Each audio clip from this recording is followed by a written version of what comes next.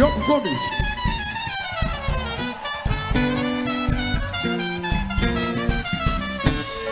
Que nós queremos aprender com você. Com você, hey! com você, hey! com você, hey!